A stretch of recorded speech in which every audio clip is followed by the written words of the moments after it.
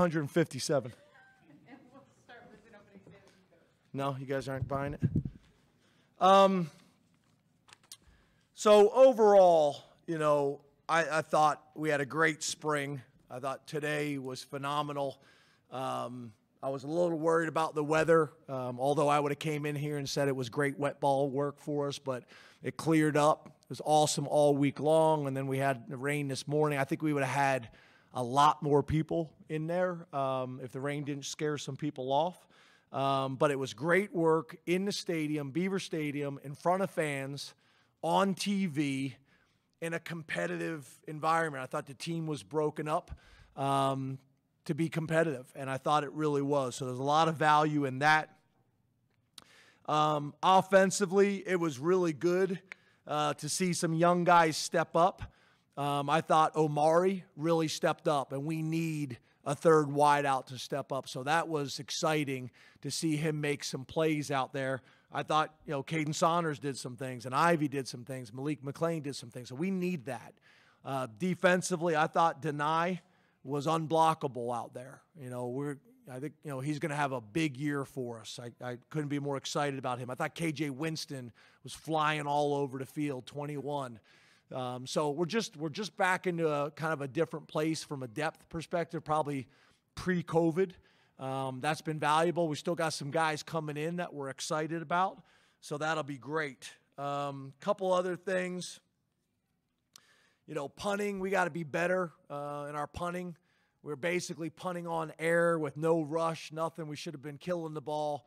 So that's something we really got to work on, you know, between now and West Virginia. Uh, some things we got to clean up. You know, we had a penalty after a touchdown. I should be celebrating and telling a kid how wonderful he is. Instead, he's doing 50 up downs on the sideline on the Big Ten Network. Uh, not not necessarily what I what I want to be doing. Um, overall, I thought it was I thought it was darn good. So there there are my notes um, from everything I saw today and my conversations with Andy Mutton just a minute ago. Looked like we came out of today healthy as well. I think you guys saw there was some guys that weren't dressed. Uh, we anticipate all those guys being back. Um, just some bumps and bruises and um, you know, things like that. We, we expect all those guys to be back and, and ready to go. Uh, they just they just weren't ready to go this spring. So open up the questions. James, uh, speaking of Omari, where is he in making that transition from playing a bunch of different positions uh, in high school? And with respect to the work he had to do with Chuck, how important is it to get that sort of thing out of the way now, kind of learn a lesson for a young guy at this point? Yeah, he kind of you know showed up and was in some ways like a track guy, you know, and and now he's done a really good job in the weight room. Uh, he's strong and he's physical and he's getting more and more confident day by day. Um, as you guys know, we've talked about it a, a, lot. We need somebody to step up in that third wide receiver role. Um, about the last week and a half, we moved him into that spot, and um, obviously today was was something to build on. There's there's no doubt about it. But you know he's got all the tools. It's it's we got to grind through it and continue to get him good at his craft. Because to your point, you know mainly played quarterback in high school and uh, was was mainly like an athletic quarterback, but uh, but he's exciting. We have the talent in the room currently in the room. Uh, we just we just got to grind through it, and we can't throw enough. You know, our, our quarterbacks, wide receivers, tight ends, running backs, we cannot throw enough all summer. And I do think, you know, with having the weight room now that we didn't have last year, having Holuba wide open uh, all summer, no matter what the weather is, to be able to throw is going to be really valuable for us. Coach, over to your right, I guess. Yeah, left. Um, left. Sure. um, looking at what everything you've seen over the 15 practices so far, are there any positions you feel like you need to attack during the spring portal window, and how will that, if at all, change the way you guys operate with the evaluation period as well? Yeah, I, I think you know, like I mentioned, we we would. I, I think we're in a good place right now, but I, I, I think we need some more depth and more competition at D tackle. I think we um, need some more depth and competition at wide receiver because I do think we could get by West Virginia or by game four or game five, I think we could have six guys that we feel good about, but it's not competitive. Right now, we're, we're trying to figure out who the third is, although a guy stepped up today. Um, I, I want I want to, there to be legitimate competition at, at every position. Um, and then uh, besides that, we won't turn down a great player at any position, at any position. So, um, you know, we'll, you know, the coaches were talking about the phones are buzzing. It's it's all over the place right now. It's crazy. I addressed it with our team in the locker room afterwards. Um, but but those two positions specifically, and then a great difference maker at any position. So, Golden singing the national anthem, that was a pretty cool thing. How did that come about, and what are just some of your thoughts on what he can do uh, with the pipes? Because that's a pretty cool, uh, I guess, talent that he has in addition to football. So, You're asking me what he can do with the pipes? yeah, well, you, That's out of my area of expertise, brother. That, that's out. N- not nothing, nothing. Um, you know, as you guys know, our, our guys are more than just football players. They have other talents, they have other skills and interests and hobbies. As you guys also know, we do kind of that deal. I think you guys, I think we've talked about it before, where if you're a new person on our team, staff or player, you have to get up and dance and sing. Everybody. Uh, Hunter Nourzad has talked about that if he would have known he had to do that, he would not have come to Penn State. Like extreme uh, anxiety about getting up in, in front of the group. Um, but it's been something that's been really fun, and that's how kind of we identified, you know, Golden and his talents, and he likes to do it. You know, so a lot of times when the the new person up there stinks, the room will start chanting for somebody good to go up and Gold's not afraid to go up. Uh, he's done some things on campus as well. Um, you know, so we, we thought it'd be cool, and it, it doesn't it doesn't surprise me that he did a good job with it. Talented dude. James, uh, Drew had the nifty little sidearm pass that you probably hadn't seen yet. Everybody's kind of fallen in love with that on social media. Yeah, I saw. I was standing right behind him. Yeah. Like this. Yeah.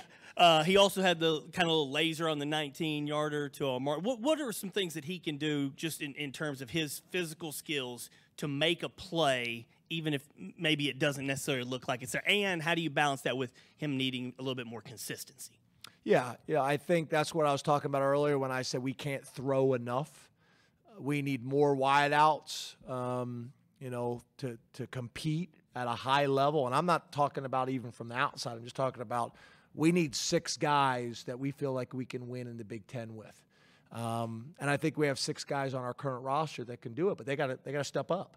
So they can't throw enough, whether it's on air, whether it's seven on seven against the defense that they're doing on their own. They just can't throw enough to build that consistency and that chemistry.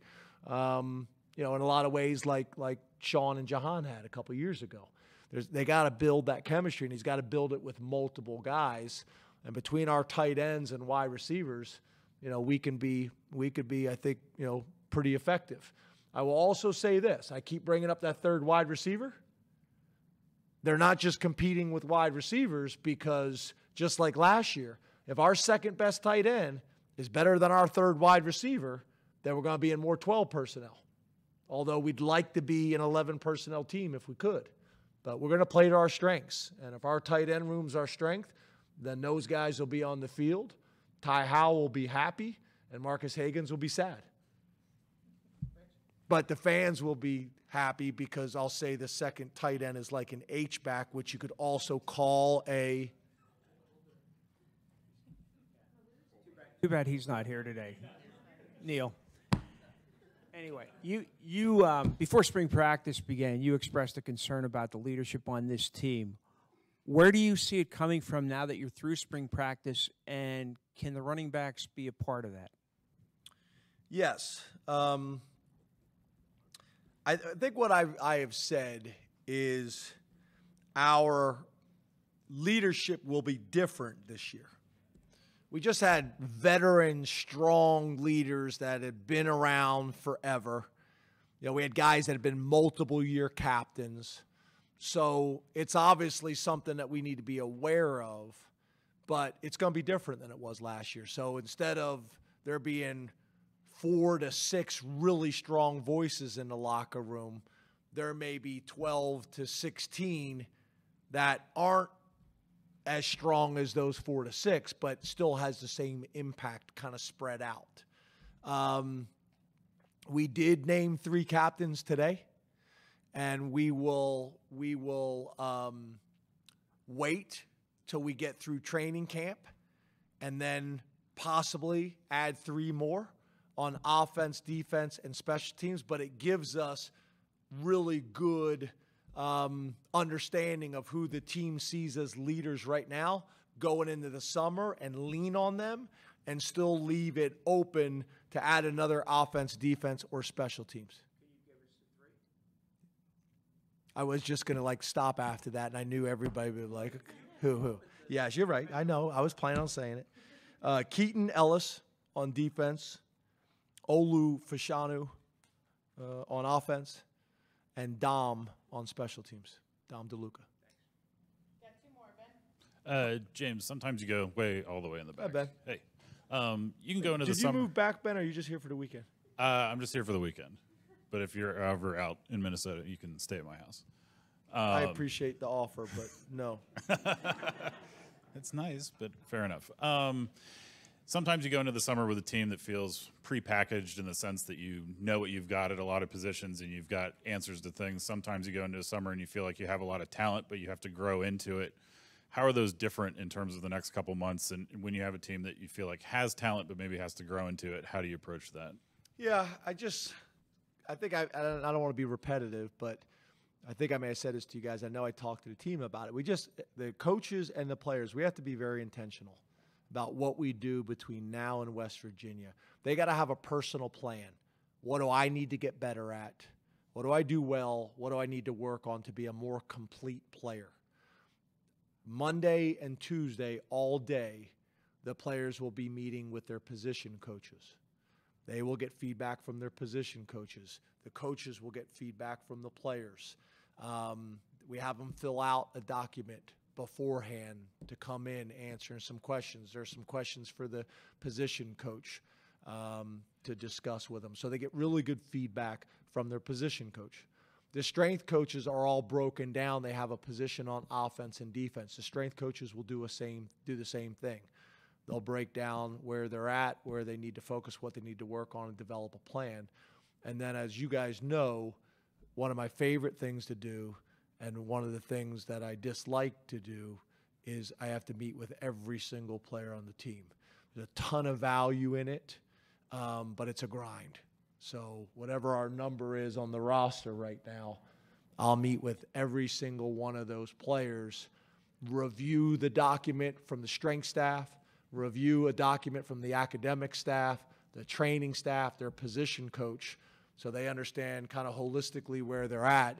And then I give them specific feedback as well. Um, and then I also get feedback on the staff. What do they think about their position coach? What do they think about the coordinator? What do they think about the strength staff? What do they think about that feedback is important? And I kind of tally it all up. You know, who's your favorite staff member and why? It's, there's a ton of information that we're able to get that is a part of my evaluation process, not just for the players, but for the staff. So um, that'll be a grind. But I think that's that's what we're going to have to do. We just have to be very intentional as coaches and as players, as individual positions, as side of the ball, and and grind on this stuff. We got to go through the tape from spring, make all the cut ups. So when we get off the road from spring recruiting, we'll go through the cut ups from spring ball. We'll start to come up with what is our identity going to be now on offense, defense, and special teams based on what we did well this spring. Um, and then obviously, right now, the analysts and GAs on Monday will start working on breaking down our first four opponents as well. So there's a ton of work uh, to be done. All right, uh, oh, right here. All right, the way you Your, structured. your name, sir, and where you're oh, from? sorry, Brandon Walker, Nittany Sports. Now you probably never, you never seen me before, probably. Brandon, welcome to Happy Valley. Thank you, sir. All right, the way you structured the team. What's your favorite uh, Thanksgiving meal? Uh, you a turkey? You a ham guy? turkey? Turkey. Turkey. What's your sides? Mashed potato green beans? Mashed potatoes and green beans. Yes. Interesting. Okay, this was the real topic. Um, um, cranberry sauce, fresh or out of the can. It goes. It goes. Always fresh. Always fresh. Who makes it? Mom, aunt, or grandma, or wife? Well, aunt, I wish I was married. Okay, that's a whole nother subject. But okay. Okay, uh, sorry. Do you remember your question? The whole idea is to distract No, no, you okay. from your actual question. Oh no, question. no, no. You're you're good. Um, the way you structured the teams, the blue and the white team, I've noted it was like freshmen and the new guys versus the veterans and the stars. Is it by baptism by fire for the freshmen and new guys, or you're just trying to build that chemistry and I competition? I disagree with you. That's how I used to do it. Used to be kind of like the starters and the two deep versus everybody else. And this this week it uh, this this year it wasn't that way. I tried to mix it up. I mean, you look. Um, I look at Dani Dennis Daniels as a starter. He was on the other team. Um, I can I can use a ton of examples. Uh, it, it probably doesn't look that way when you have certain positions. A lot of you guys probably focused on the running backs. Well, when you got Nick and Kaytron on one side, and then we don't have another scholarship back right now, but three guys that we love and have done a nice job for us. The positions that we have a legitimate three deep, we were good. Um, so I, I, didn't look at it that way. I thought we broke the team up in a way that I thought it was going to be really competitive. You look at our safeties, it's two really good safeties on the blues, two really good safeties on the white. You look at the defensive ends, two really good DNs on the blue, two really good DNs on the white. Our offensive line, we've never had two offensive lines like that, at least since I've been here. So this year, it was not. In years past, it was typically ones and twos versus everybody else. Go in the stadium, hopefully put up big numbers. Everybody's excited. Offense had 7,000 yards and scored 90 points, but this was more about making it as competitive as we possibly can. But some positions made it difficult to do that. You, Appreciate you guys. Won't see you for a while. Chris, when's the next time we'll be together? Maybe June? June? Maybe June or June? Maybe June. Maybe June.